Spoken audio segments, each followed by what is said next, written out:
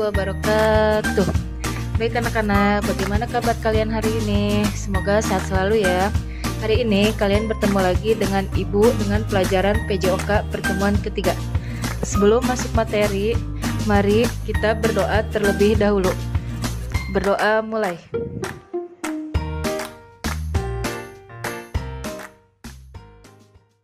Berdoa selesai. Oke, sebelum kalian mengikuti pelajaran PJOK, kalian harus menggunakan baju olahraga dan sepatu olahraga. Baik, hari ini pelajaran PJOK kelas 5 tentang permainan bola kasti. Pengertian kasti. Kasti adalah salah satu permainan bola kecil. Permainan kasti termasuk salah satu permainan yang dimainkan oleh tim atau regu. 2 Jumlah permainan kasti terdiri dari 12 orang pemain. Setiap pemain diberi nomor dada dari 1 sampai 12. Salah satu permainan bertindak sebagai kapten regu atau tim. 3. Alat-alat yang digunakan antara lain bola kecil, alat pemukul yang terbuat dari kayu, tempat penghentian atau base serta batas lapangan. Di sini dijelaskan ukuran lapangan permainan bola kasti. Panjang dengan 60 meter dan lebar dengan 30 meter. Keterangan. Yang A. Ruang bebas atau ruang tunggu. Yang B. Tempat pelempar atau pelambung. Yang C. Tempat pemukul. D.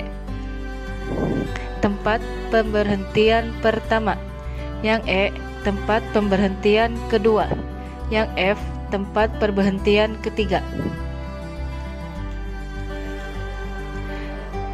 Peralatan permainan bola kasti. Bola kasti dan pemukul bola kasti. Teknik dasar permainan bola kasti. Secara garis besar, ada tiga teknik dasar permainan bola kasti yang akan dijelaskan kali ini, yaitu 1. Memegang bola kasti 2. Menangkap bola kasti 3. Bermain bola kasti Teknik permainan bola kasti Chart 1 Cara melempar bola kasti Di sini dijelaskan ada gambarnya Cara memegang bola 1. Bola dipegang dengan seluruh jari-jari tangan 2. Bola dipegang erat-erat agar tidak lepas 3. Jari-jari tangan terbuka menghadap ke atas. Yang B. Cara-cara melempar bola melambung. Lemparan melambung yang dimaksud di atas untuk mengoperkan bola kepada teman yang agak jauh jaraknya. Lemparan ini digunakan oleh pelambung atau pelempar. Langkah-langkahnya adalah 1. Mula-mula berdiri menyamping, kaki kiri di depan dan kaki kanan berada di belakang. 2. Kaki dibuka lebar atau lutut kaki kiri diluruskan dan lutut kanan dibengkokkan. 3. Tangan kanan memegang bola dan berada lurus di samping badan. 4. Tangan kiri berada di depan dan lurus sejajar bahu. 5. Pandangan ke depan. 6.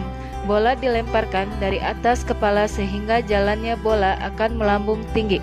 7. Setelah bola dilemparkan, tangan mengikuti jalannya bola. 8. Gerakan melempar ini harus dilakukan berulang-ulang agar menjadi pemain yang terampil. Yang C. Cara-cara melempar bola lurus dan mendatar. Langkah-langkahnya adalah 1. Mula-mula berdiri menyamping, kaki depan dan kaki kanan berada di belakang. 2 Kaki dibuka lebar, lutut kaki kiri dibengkokkan dan lutut kanan diluruskan. 3. Tangan kanan memegang bola dan siku dibengkokkan 90 derajat. 4. Tangan kiri berada di depan dan lurus sejajar bahu. 5. Pandangan ke depan. 2. Cara menangkap bola kasti. Cara menangkap bola kasti terdiri atas 1 Menangkap bola melambung tinggi 2. Menangkap bola mendatar atau setinggi badan 3. Menangkap bola rendah antara lutut dan pinggang 4. Menangkap bola di samping kanan atau kiri badan 5. Menangkap bola bergulir di tanah Langkah-langkah menangkap bola kasti. 1. Berdiri tegak, kedua kaki agak dibuka dan lutut sedikit ditekuk.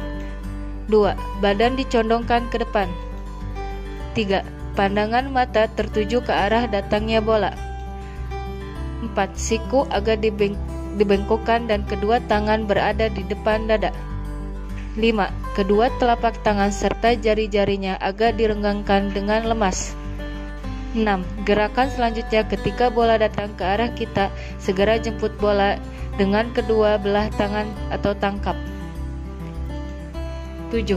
Setelah bola berada di tangan, ditangkap, tarik ke arah dada, dan pegang erat-erat bola tersebut sehingga tidak lepas.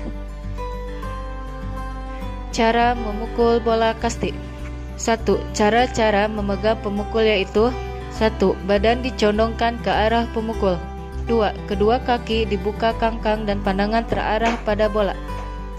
3. Kedua tangan memegang erat kayu pemukul, lalu tarik ke belakang sampai ke bahu kanan. 4. Tangan kanan siap memukul bola yang dilepaskan oleh pelambung atau pelempar.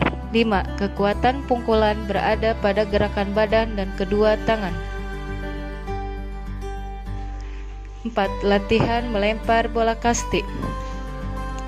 Bentuk-bentuk latihan melempar dan menangkap bola seperti terlihat pada gambar berikut.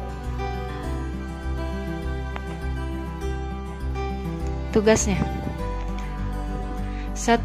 Peragakan cara melempar bola dan melambung seperti contoh di gambar. 2. Peragakan cara melempar bola mendatar seperti contoh di gambar. 3. Peragakan cara menangkap bola seperti contoh di gambar. 4. Peragakan cara memegang bola kasti seperti contoh di gambar. 5. Tugas dikirimkan berupa foto kolase dan dikirimkan ke guru PJOK. Jika tidak punya jika tidak punya bola tenis, kalian bisa menggunakan dengan kantong plastik dibundel-bundel seperti membentuk bola lalu diikat dengan tali rapi ataupun tali, tali apa pun. Itu saja, selamat mengerjakan. Jangan lupa untuk selalu menjaga kesehatan dan rajin berolahraga. Alhamdulillah. Terima kasih. Assalamualaikum warahmatullahi wabarakatuh.